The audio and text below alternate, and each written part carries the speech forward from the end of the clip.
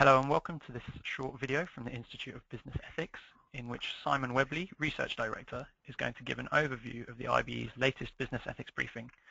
This briefing presents the key findings, uh, key and relevant findings from nine different surveys from 2014 which are on a business ethics theme. Uh, this briefing is free to download from the IBE's website www.ibe.org.uk. After Simon has shared his thoughts, I'll be back to pose him a few questions. Simon. Yes, uh, I'm um, going to really look at these nine different uh, uh, surveys, and the point of them all is that they give an insight into how um, business and business behavior, business ethics, um, is changing over a short period, and in some cases quite a long period, and this will give us a good idea of the way in which people uh, look at business and particularly about how business is done.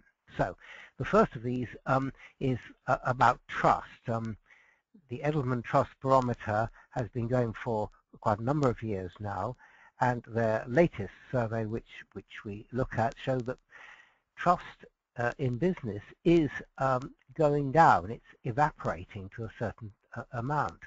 And if you look at this by sector, you'll find that although the technology sector and electronics sector are, are the most trusted, they are um, falling generally. The um, bottom of the trust uh, list uh, remain uh, the media, which is not trusted much, and as you would expect, banks. Um, there's also uh, some indication that distrust is increasing amongst the um, larger developing countries, known as the BRIC countries. Um, and an interesting little vignette is that in most um, countries of the world, the family-owned business is the most um, is the most uh, trusted, whereas big business and state-owned businesses are still falling in trust. Uh, so turning to a specific issue of anti-corruption, the Dow Jones uh, survey um, interviewed compliance professionals and showed that there was quite a bit of progress over the uh, recent times on uh, anti-corruption programs. Um, eight out of ten say they have these programs in place, but less are doing um, what we call ethical due diligence on new business partners. And um, there also seems to be increasing doubt amongst businesses about banning uh, facilitation payments, which in some countries is illegal and others is not. Freshfields uh, did a survey on people uh, being able to uh, blow the whistle, speak up. Um, and they uh, show that the people who are most likely to uh, be the subject of a, of a whistleblow are middle and senior managers, and this is true across the globe. Um, However, uh, there is some uh, confusion about how companies uh, look at this. Some see it as very important, about 1 in 10, um, but 3 in 10 actively discourage it, uh, partly because of the problems associated with it, namely retaliation. Deloitte looked at reputation risk, uh, and their um, survey generally was that this is now being increasingly seen as very important. You can't insure against uh, reputation risk. Um, and more more companies are taking it up as a top concern and doing various things that will try and mitigate that risk. Uh, turning to specifically the UK, the Institute of Business Ethics uh, did its regular survey of uh, trends about what British public think about uh, the ethics of in in business, and um, uh, the feeling here is it hasn't changed a great deal um, uh, over the long period we've been doing it. Ten years we've been we've been doing it. About um, a, a, third think that um, its business is less ethical. About a third about the same over that period, and a quarter think that it's more ethical.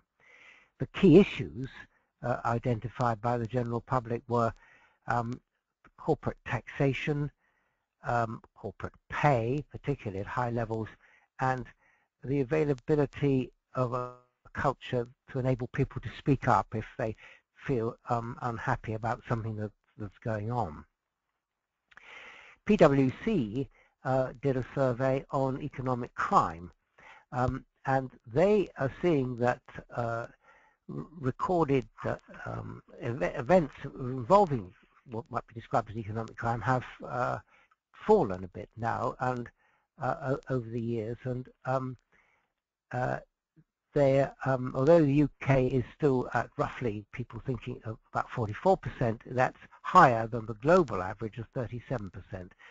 Um, and the uh, interesting thing about that survey is that it shows that the crime committed by insiders, that is people who are employed, is on the rise compared with those um, who sort of tap in from the outside. In the United States, the uh, Ethics Research Center um, do a regular survey on workplace conduct. And for the third successive year, misconduct in the workplace has fallen. Um, uh, however, um, if you break that number down, you'll find that there has been some increase amongst bad behavior amongst managers. About 25% um, were observed to have fallen into this category. Then finally, two um, surveys from the uh, SCCE, um, Society for Compliance and Corporate Ethics. Uh, one was on an ethics program or ethics programs in businesses, and the other was the way in which um, ethics officers and people responsible for it uh, relate to their boards. Uh, SCCE uh, say that 93% of the larger business uh, have codes now, um, but very, but less than half of these rev revise them or review them in a within a three-year period. Uh, large proportion, 96%, do provide training uh, for their ethics programs. Uh, the uh, questions about the relation of the ethics officer, office and compliance officers to the board is that about half in the US report directly to the board. Uh, we know that that number is much less in the United Kingdom, one way or the other.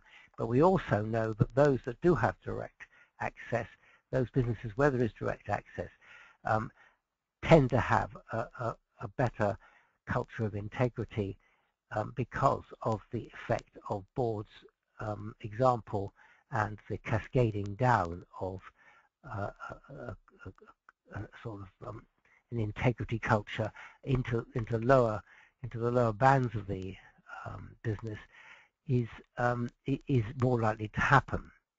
So we've looked at some global figures, some UK uh, trends and some US trends, and um, it does, I suppose, um, going back to it, concern us that trust in business is falling generally and that we're pleased to see that various methods being used to deter um, corruption are on, on the rise. So what questions would you like to ask me? Thank you, Simon, uh, for that insight. That's absolutely fascinating. Um, so just a few, a few questions, if I may. Um, firstly, uh, the SCC survey that you were just talking about does report mm. that there is a good relationship between the chief ethics officer and the board uh, in the US. Um, how would you say this relationship is, is mirrored in the UK or elsewhere around the world? Well, there usually is uh, one or even two steps between the person in charge of corporate responsibility or business ethics and the board. They often have to report up through uh, a compliance team or legal team um, and uh, occasionally you're getting, or increasingly you're getting some direct relationship with the board committee uh, that's there. But on the whole, uh, they have to go through somebody else before they can raise a, an issue with the, at the highest level of, of the company. Um, we were looking for that trend to um, to stop, or, if you like, uh, for more direct access to boards by people in charge of, of business ethics, uh, because of the evidence that that really makes the uh, the whole um, program within an organization more effective. Okay, great, thank you. Um, the Deloitte survey on reputation risk is also an interesting one, as I think you mentioned you, you cannot uh, buy insurance against uh, to guard your reputation. Um, what practical steps can you offer for companies who may be seeking to self-insure, so to speak, against the ethical and integrity risks mentioned? Well, I mean, clearly is to make the uh, program um, that they have to try and counter the likelihood of uh, a reputation hit um, more effective, in, particularly in those groups of people where um, this is likely to happen. Um, in the age of social media, it is much more likely that information about what's going on in an organization will get out into the general public and be snapped up by the media. And that risk is pretty high so one specific thing people can do is to give guidance about the use of social media by all their staff in relation to what's going on in their business. Uh, there are probably other things to do, but that's one practical thing. Excellent, thank you. And finally, uh, perhaps a related question. Um, the Edelman Trust Barometer shows that levels of trust in business are falling. Um, can you offer a quick suggestion as to how companies may be able to rebuild this trust? Well, it's one of the most difficult things to do once you've uh, lost trust is to is to regain it. And um, research generally shows that it takes quite a long period, up to five years, to change. Um, you start at the top with it, uh, but to get that cascaded down into middle management and lower levels takes a very long time. Um, I mean, it's a cliche to say that money is a very dominant theme in in business to make money but it's how you make that money which is going to uh, affect your reputation. And more concentration on the how as opposed to the what uh, would make a, a, a, real difference and produce some form of a better assurance that you won't get a reputation hit. But um, it, it, it's at the moment um, very uncertain as to as to where information will, will get out about the business so the best thing to do is to see that the business is run ethically and properly so that that risk is uh, reduced. Simon, thank you. Um, very fascinating answers, and thank you for uh, yeah the thought and the insight that you've obviously put into that. Um, I think to sum up, uh, we can say that there's a mixture of both positive and some concerning findings, um, but that was a fascinating insight into the business ethics playing field from 2014. Uh, so also thank you for listening in. Um, as you can see on the, uh, the, screen here, the survey can be downloaded from the IBE website. Um, but please do feel free to get in contact uh, if you wish to discuss these findings or for any further information. So thank you.